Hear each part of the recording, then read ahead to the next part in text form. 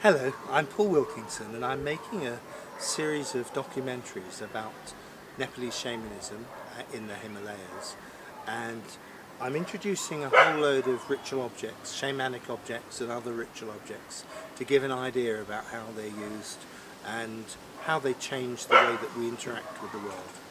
So today I want to show a few masks, some shamanic masks and some from other traditions and uh, give a little bit of an introduction about how they're used.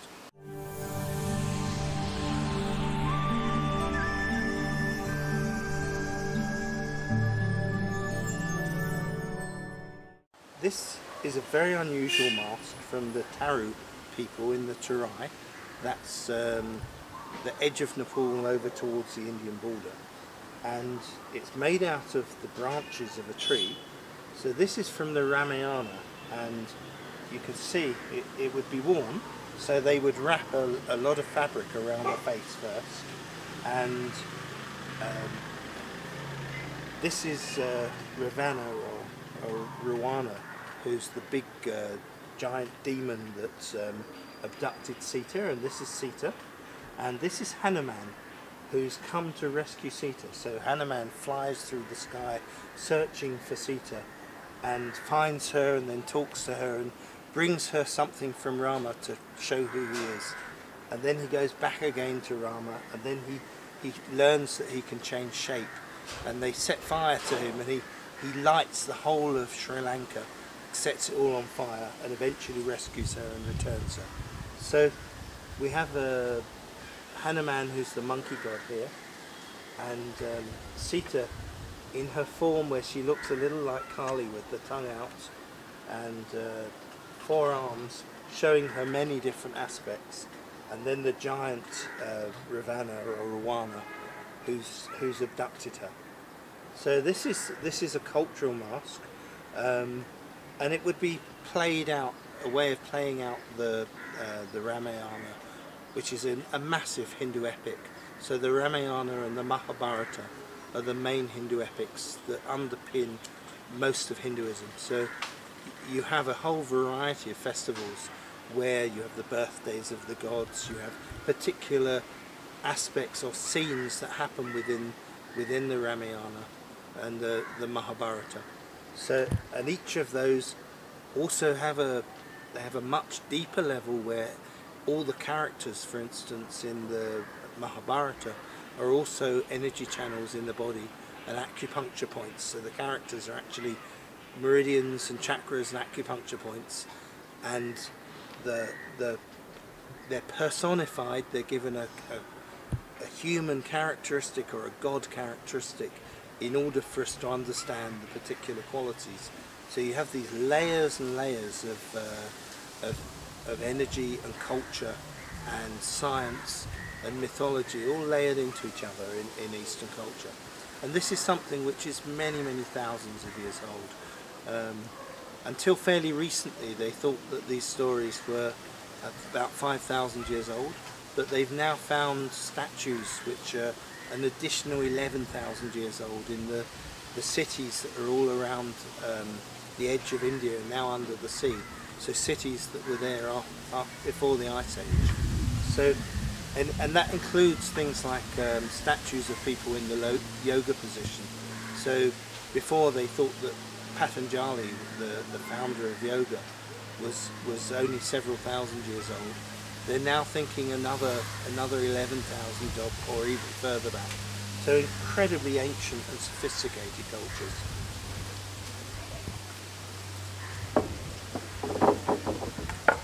This this mask is also from the Tara people, but much more a tribal mask. It would be designed to have, um, see little holes in the beak here. It's designed to have a, a, a string coming through and it would be danced, so it's a peacock mask. And they would clap this and then they do the, the, the dance where they're stamping the feet and wiggling the tail and opening the tail up. So it's often accompanied by um, other dancers and people in traditional costumes dancing on either side and with the men, men drumming. So that's a tribal cultural mask. Now this piece is something which is probably much more shamanic. I say probably because I've never seen this before, so um, I can read a lot of the symbolism within it. I know a little bit about where it's come from, but until I until I confirm the things that I know, I can't definitely say what it is. So you have it's from the the Rai people from an area near to Bhutan, so in far east Nepal, and you have a, a character here with the tongue out, so but with a, a moustache. So it's a male character, possibly an aspect of Shiva. The tongue is is about vitality. It's about um, and it's also a sign of the energy flowing. So the tongue can be used as a as an energy switch when you bring energy up the back. So the tongue is out, a little bit like the yogic lion's roar where the tongue is extended like like this and then you have a, a, what looks like a leopard at the top and these healing herbs on the forehead and all over these nagas so you have uh, two different snake gods wrapping all the way around. So the naga wrapping around and intertwined here covered in flowers. So the Naga are, uh, represent the snake gods that live inside the waterways and inside the earth and are symbols for healing and for the energies inside the chakras and also for the vitality of the earth, the growth and the freshness and the, the purity of the earth. So you, you see we've got these two snakes wrapped around each other very, very beautifully carved, coming all the way up. And then you've got these interesting designs here around the throat, which I'm not sure what that symbolism is. Very interesting, I've not seen that before. And the same plant. So one of the things I'll try and do is identify what this plant is. And I need to find someone who's seen a mask like, like this before. But very beautiful, very interesting you see where you can actually look through the sides here and um, so it's a, obviously to be danced and performed so this is a shaman mask from um, far west Nepal it's from a, a, a very remote mountainous region and I have three metal masks like this this one has been cast in several pieces, so the headband is cast separately. And then there was obviously a fault with the casting, and they've made this patch and riveted it on in the process of making it. So the thing that's really interesting about this mask is you've got three different levels. You've got the headband, which probably had feathers and things and porcupine quills stuck in here. So the headband represents the upper world, the eyes and cheeks and nose are the middle world, and the mouth and chin are the lower world. So with the upper world you have a temple in the middle, like a, a shamanic spirit house, and then you have horses either side of that with shaman on their backs, and a zigzag which probably represents mountains in the, in the distance. And the horses are seen as the traditional vehicle for the shaman So the drum and the horse are often interchangeable in the way they describe um, the, the rhythm of the drum is the vehicle and so sometimes when they're going into trance they'll be drumming and they'll talk about their horse and they actually mean their drum. So you've got very interesting thing of the shaman riding on the back of their horses towards the spirit house. So in the middle you have two deer with antlers and you have the eyes and the nose for the senses, the nose rings and other jewellery and then a, a naga, on, so a snake god underneath the deer and earrings. So the deer are often seen as uh, very spiritual animals and the shaman are often very connected with, with deer. So I've often, I've also experienced lots of um, very I've also experienced lots of very beautiful encounters with deer and stags where I've been in, in the forests in England and where the stags have come very close. Even as a child, I've had these uh, wonderful, wonderful experiences where the stags came to within a few feet and we, we made eye contact and then all the deer came all around us and we stood together for a long time in the, in the forest. And so the stag also have a, they're super sensitive to the energy in the ground. So they've now found that when you do dowsing, a lot of the standing stones are in the same, have the same energetic signature as um, the rutting grounds for the stags.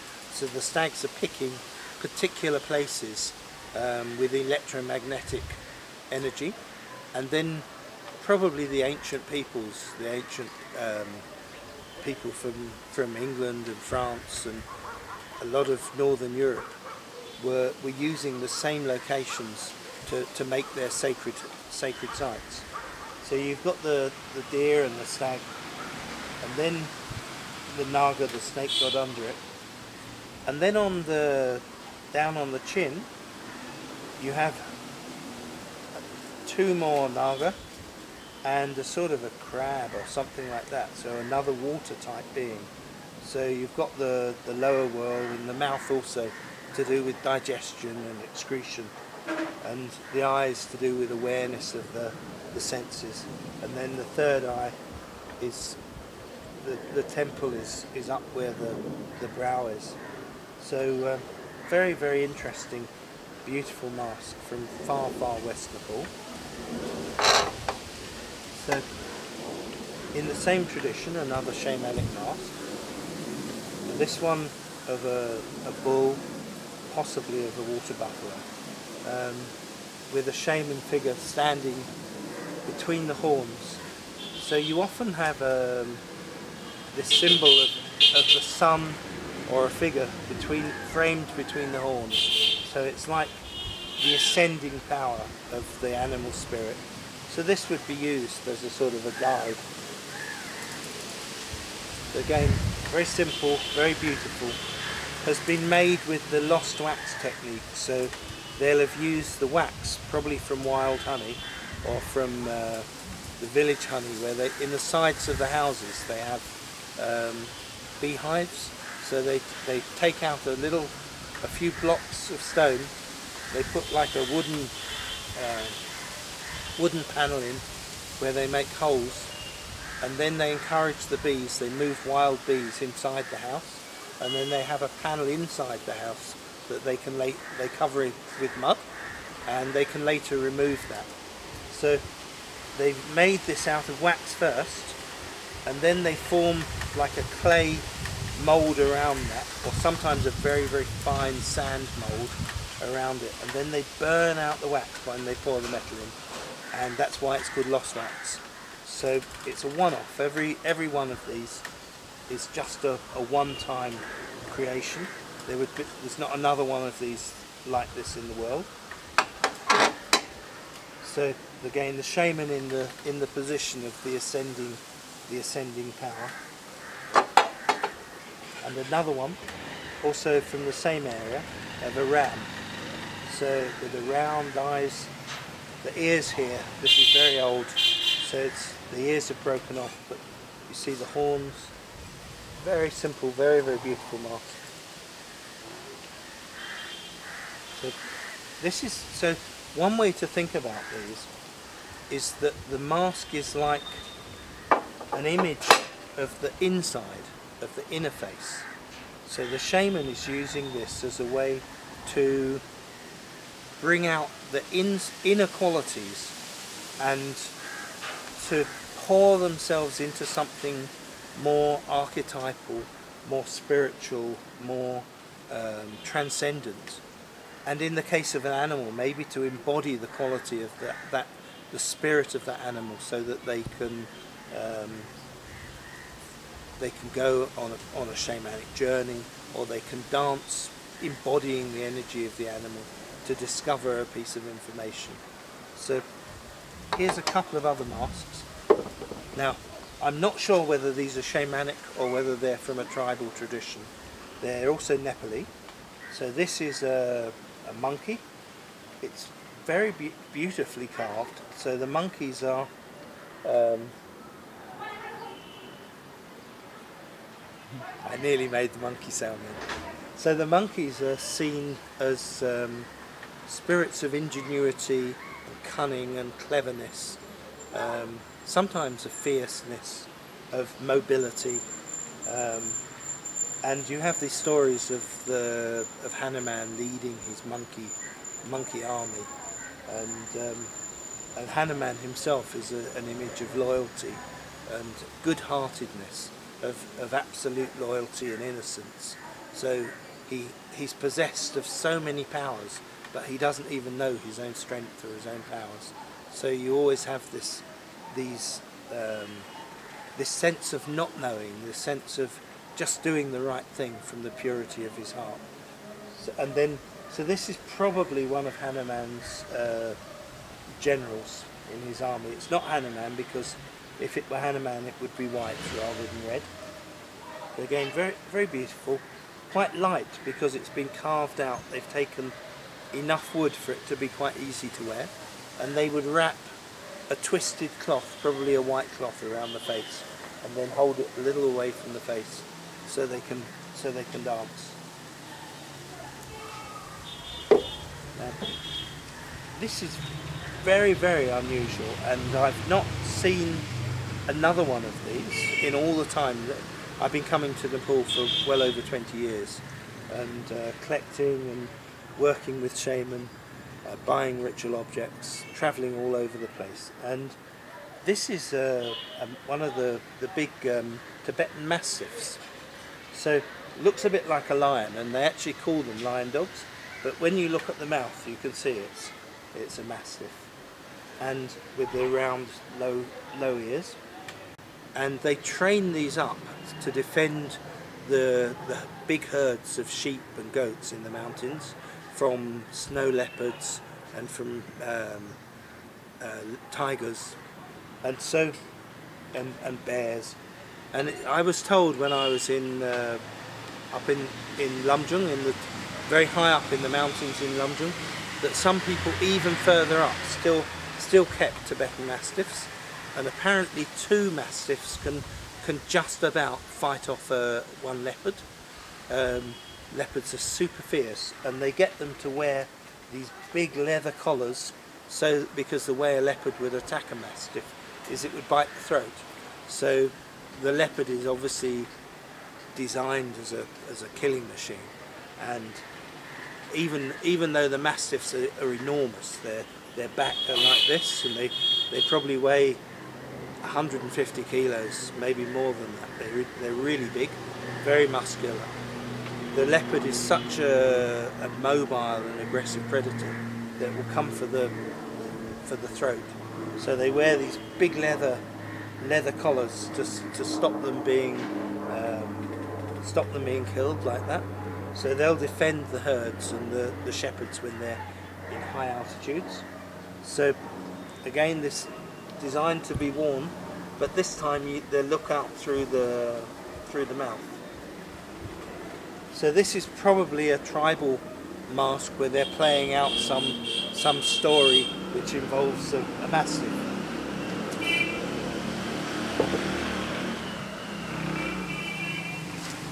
This is a, a, spotted deer, probably from the Terai as well, where you get a lot of spotted deer.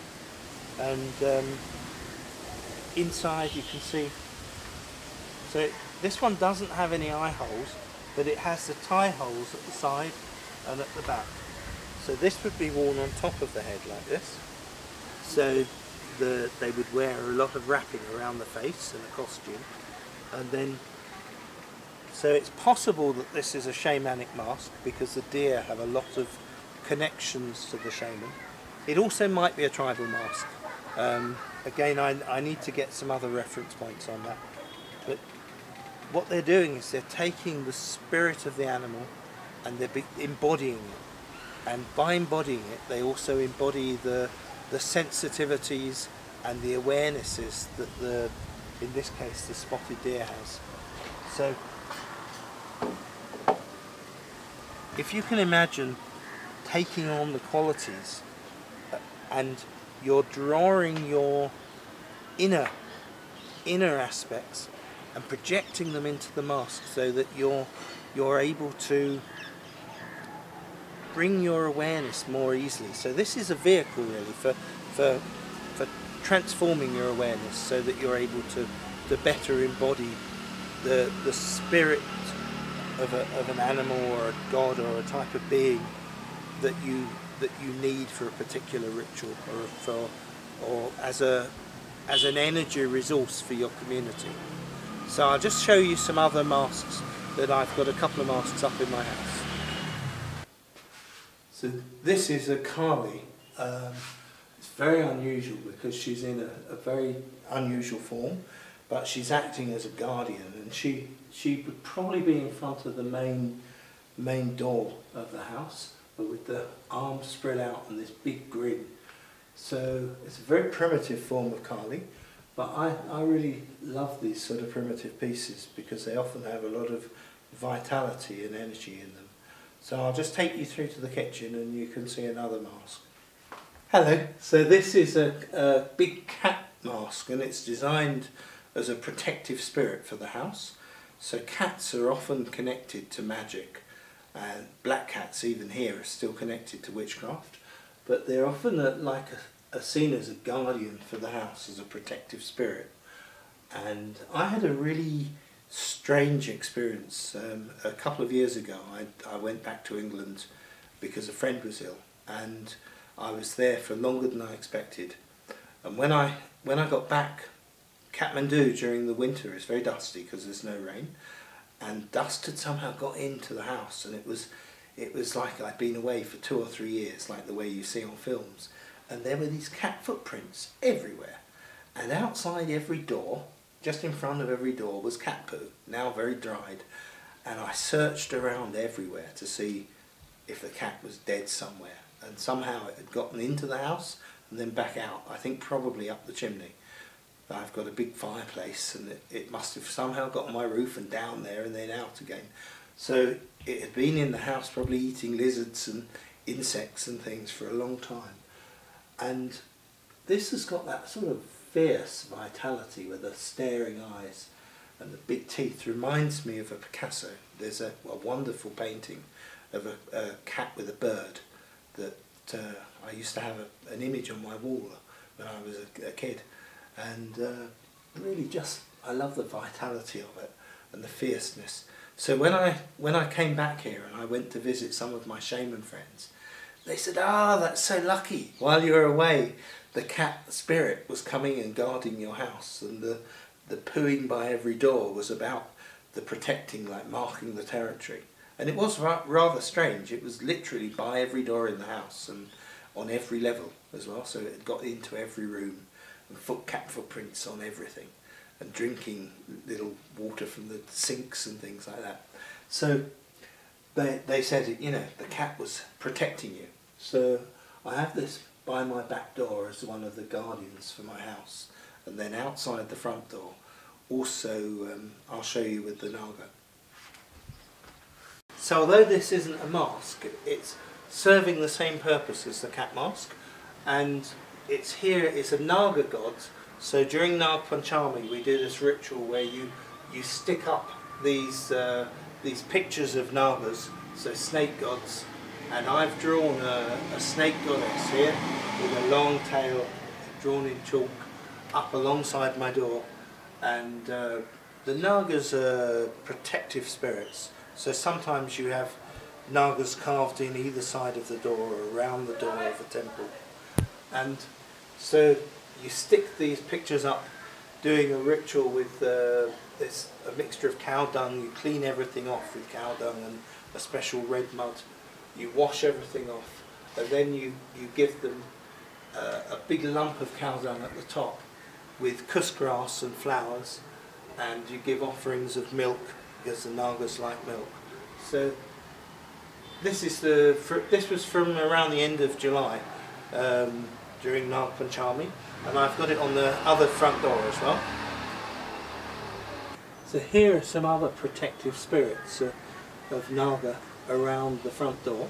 But you can see the door itself is carved with the magic eyes looking out and protecting the, the house, and with uh, like lion dragons on the on the door handles, and then um, symbols of uh, good luck and good fortune and being true to your own pathway.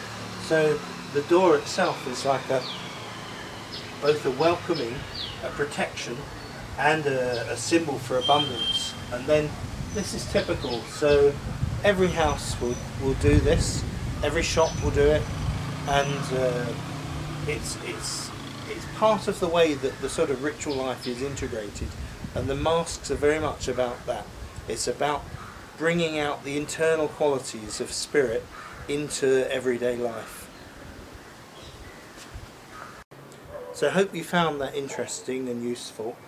I'm making a big TV series about shamanism at the moment and another series on uh, all the ritual festivals of Nepal.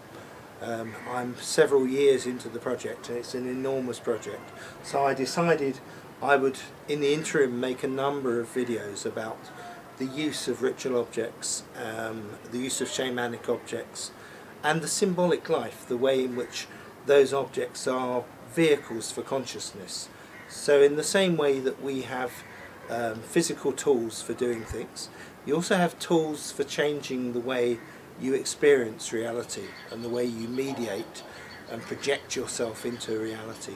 So, a mask very much is about that. It's very much about embodying the spirit of of the elements depicted on the mask and becoming it and then living that out in the world in a way where where it's directly transforming the, the experience of the shaman or the person um, embodying their cultural dynamics, their cultural stories. So I hope you found that interesting and please subscribe to the channel. Let me know if there are um, things you'd like me to make videos about and I'll see you at the next one. Thank you.